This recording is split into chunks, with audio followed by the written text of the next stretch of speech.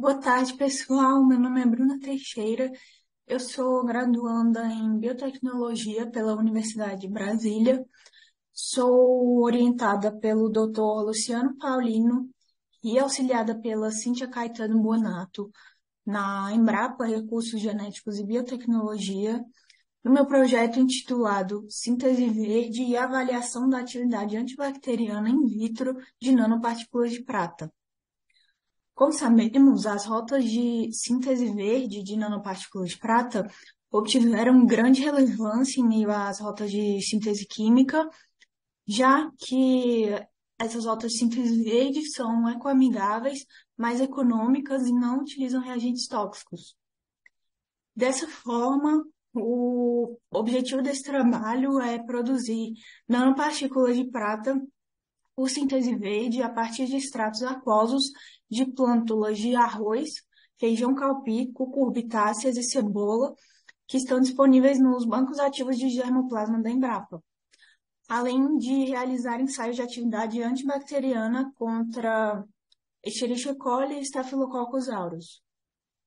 Como metodologia para síntese verde de nanopartículas de prata, nós produzimos um extrato a 100 mg por ml a partir das plântulas dos vegetais citados e adicionamos uma solução de nitrato de prata a 2 milimolar para a obtenção de duas suspensões diferentes de nanopartículas de prata. Uma a uma concentração de 10 mg por ml e a outra a uma concentração de 1 mg por ml. Para a caracterização, nós utilizamos o espalhamento de luz dinâmico para determinar o diâmetro hidrodinâmico e o índice de polidispersividade das amostras, e utilizamos também potencial zeta. Para testar o potencial antibacteriano das nanopartículas de prata, nós realizamos o ensaio de concentração inibitória mínima, é, utilizando Escherichia coli e Staphylococcus aureus. Nós realizamos esse ensaio em microplacas de 96 poços, testando seis diferentes concentrações de, de nanopartículas de prata. 256, 128, 64, 32, 16 e 8 micromolar.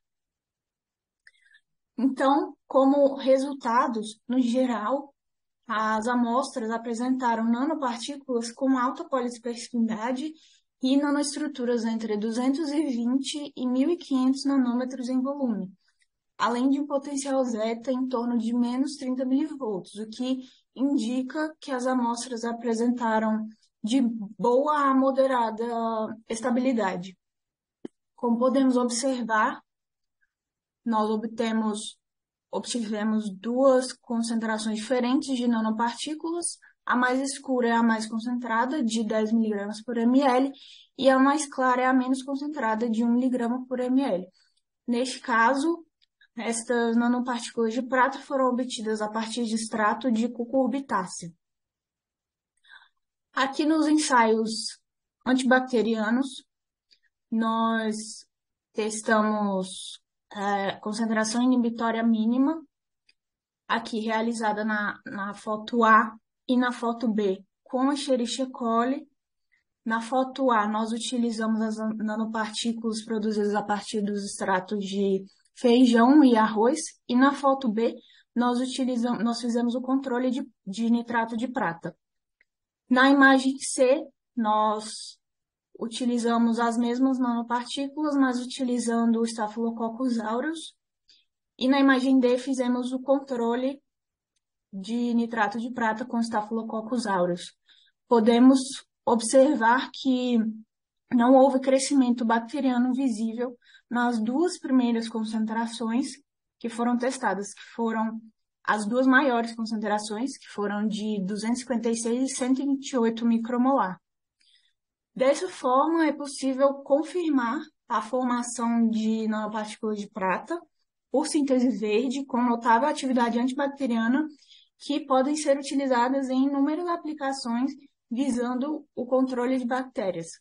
Muito obrigada pela atenção de todos.